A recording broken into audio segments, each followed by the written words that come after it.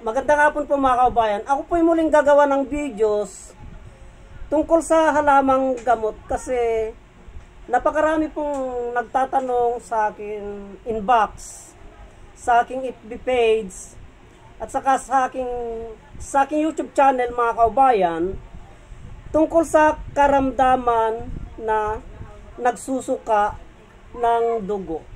Uh, may mga ilang videos na ako mga kaubayan tungkol sa uh, karamdaman na yan, yung nagsusuka ng dugo.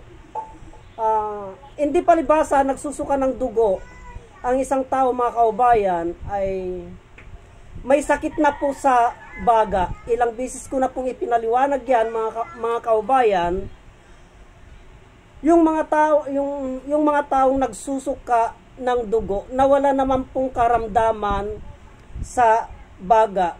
Kasi po, pag ang isang tao eh, nagsusuka po ng dugo, nagdudura ng dugo, antimano, hinatulan na po natin mga kaubayan, na may karamdaman sa baga. Hindi po, mga kaubayan. Kaya maganda po, pag nagsusuka po ng dugo ay kailangan ma-check up po maigi ng mga ng mga doktor kung ano ang sanhe o dahilan ng pagsusuka ng dugo ng isang tao. Kasi po, hindi palibhasa nagsusuka ng dugo o nagdudura ng dugo ang isang tao ay may sakit na sa baga. Marami pong mga pinanggagalingan yan, mga kababayan. Kaya paulit-ulit ko pong ipinapaliwanag yung mga uh, karamdaman na nagsusuka kung bakit nagsusuka ng dugo ang isang tao bibi, magbibigay po ako mga kaubayan ng ilan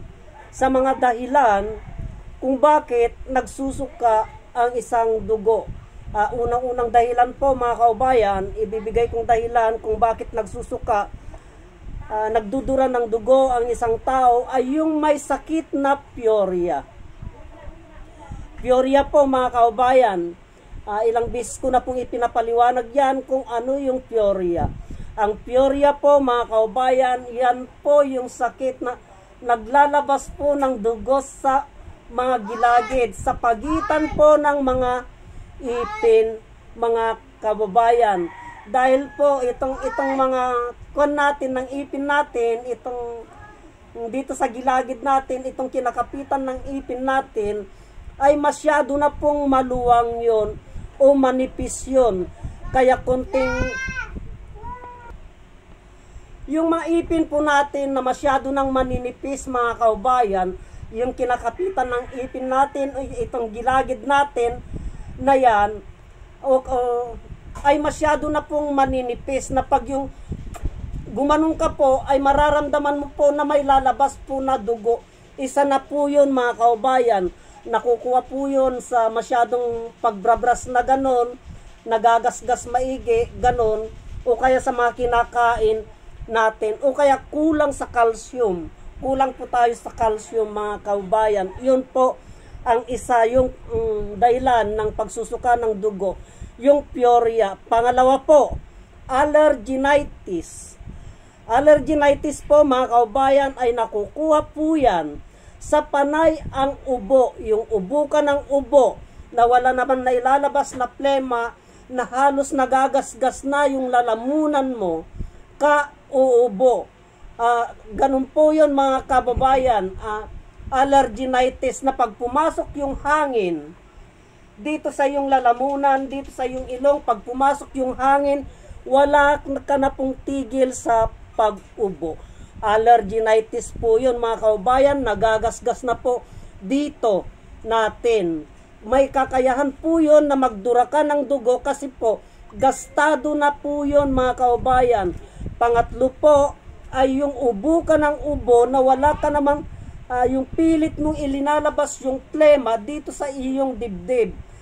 yung ganun ka ng ganun mga kaubayan na wala kang nakukuhang plema, yun po ay nagagasgas na po yun mga kababayan dahil yung kapit ng plema sa dibdib natin mga kababayan pag ubo mo na ganon, pag salpok ng hangin para kunin yung plema na yun, hindi niya mahugot-hugot, yun po, yung hangin na yun, na humuhugot, na hinuhugot niya yung plema na yun sa dibdib natin, na pinagkakapitan uh, na, na yung laman na yun na pinagkakapitan ng plema pag sinalpok ng hangin yun, may kakayaan po yun mga kababayan na gasgasin yung parte na pinagkakapitan ng baga. Yun po mga kaubayan.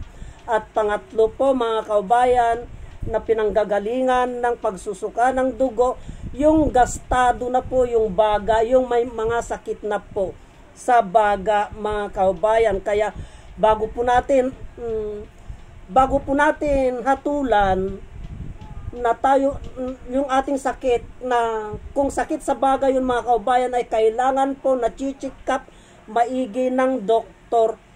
Yan mga kaubayan para alam po natin para alam po natin kung ano po ang halamang gamot na igagamot natin yan mga kaubayan. Ngayon, kung yun po mga kaubayan ay ganun po ang karamdaman ang karamdaman natin mga kaubayan, yung pyorya, yung allergenitis, yung gastado, yung gasgas na yung dibdib, uh, yung gasgas na yung, yung laman na pinagkakapitan ng plema, yung baga, at nagasgas na po.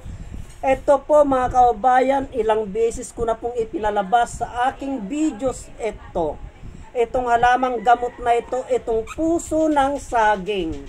At marami na din po kung tayong mga kaubayan uh, na may karamdaman na pinagsubukan po namin ito. Isa na din po ako niyan mga kaubayan, yung mga may sira ng ipin na dumudugo pag dumuraka ting umaga at yung ating mga kaubayan na masyadong mainit yung katawan.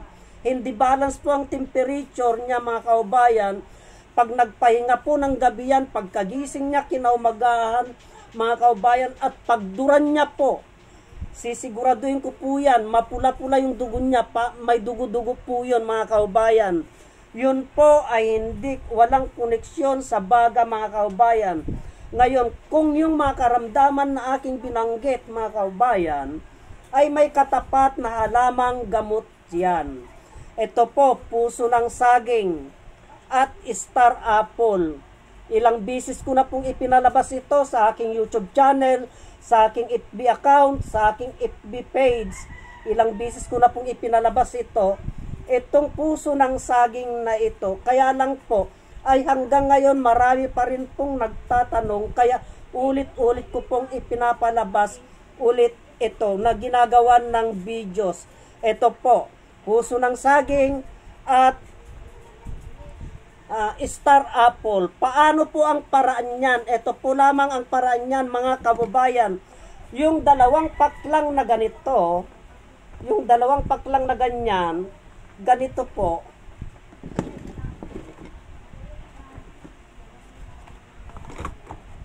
Kunin nyo po yung mga kabayan. Ito po, nagpakulo na po ako.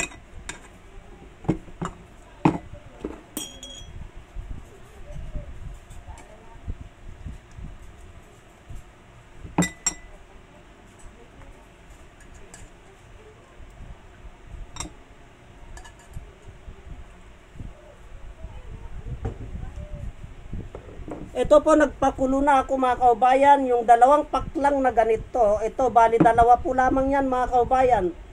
Dalawang paklang at limang dahon ng star apple.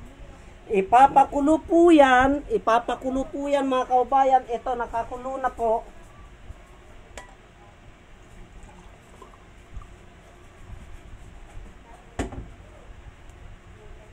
Ipapakulo po yan tapos kung purya yung ating karamdaman sa ipin po, iminumumog pong ganito yan.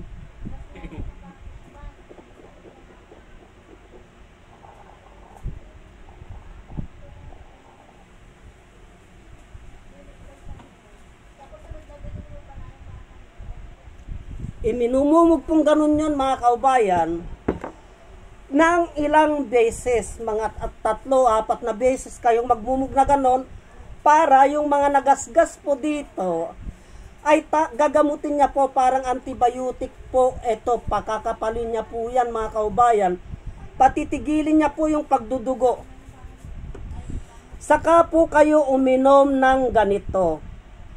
Karami. Uminom po kayo mga kaubayan.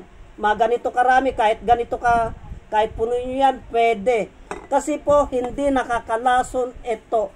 Ang pag-inom nito, isa sa umaga at isa sa gabi. Ganito po, inumin, uminom po kayong ganito para kung sa loob po ang may gasgas, gagamutin niya po yan.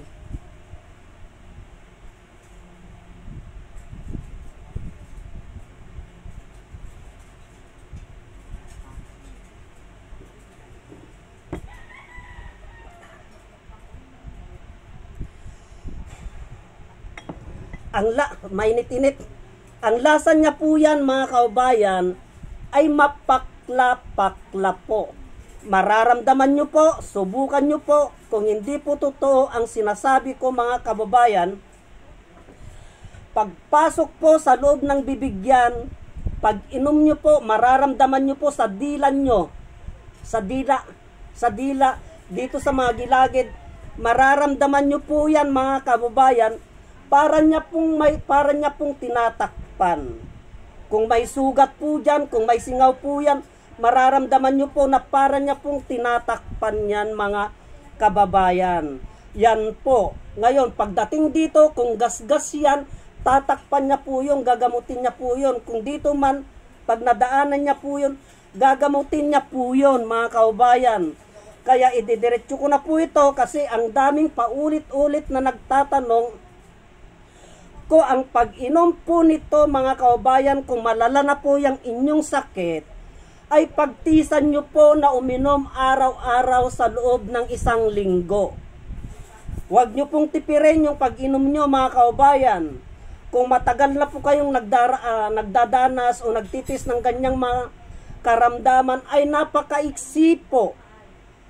Yung napakaiksi po yung isang linggo na inyong pag-inom niyan mga kaubayan.